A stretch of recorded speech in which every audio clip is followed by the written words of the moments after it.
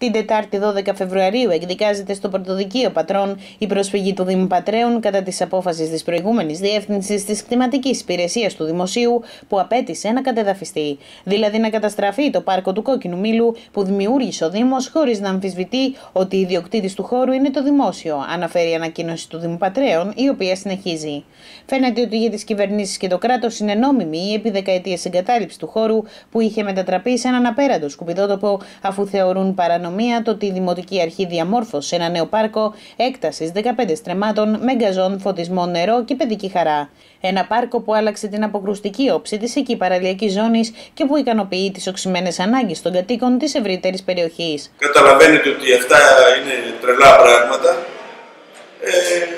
και νομίζω ότι τελικά όπως έγινε και με το Νότιο Πάρκο θα επικρατήσει η λογική και θα βρεθεί και θα δοθεί και μία απάντηση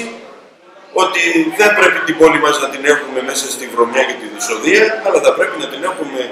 όπως την έχουμε, να μπορούν να την απολαμβάνει ο πατραϊκός λαός, τα παιδιά μας, να την ευχαριστούμαστε και σε αυτή την κατεύθυνση θα πορευτούμε. Δεν θα πάμε έτσι, θα στείλουμε τα μηνύματά μας σε όλους αυτούς, γιατί ε, αυτό το συχνά πυκνά να πηγαίνουμε άδικα να πάμε να κάνουμε κάτι καλό και να βρίσκουμε μπροστά μας όλους αυτούς οι οποίοι να θέλουν το παρελθόν,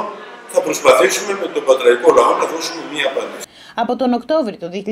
2018, η κτηματική υπηρεσία της Πάτρας απέστειλε στο Δήμο Πατρέων έγγραφο με το οποίο θεωρεί παρανομία το ότι διαμόρφωσε στην περιοχή του Κόκκινου Μήλου. Και αυτό παρότι ο Δήμος είχε πάρει άδεια φύτευσης από την ίδια υπηρεσία. Όταν ολοκληρώθηκε το πάρκο, τότε διαπίστωσαν ότι δήθεν είναι παράνομες οι διερχόμενες υπόγειες εγκαταστάσεις αποχέτευσης χιλιάδων κατοικιών που προπήρχαν επί πολλές δεκαετίες, οι εγκαταστάσεις αυτόματου ποτίσματος, η εγκατάσταση φωτισμού, η διάστρωση λεπτού στρώματος χώματος ή λεπτό Κοκουάμου που έγινε με την καθαριότητα του χώρου, η προσωρινή προστασία του πρασίνου από τα θαλάσσια κύματα και συγκεκριμένα μέχρι να μεγαλώσουν τα φυτά με τοποθέτηση μπετών.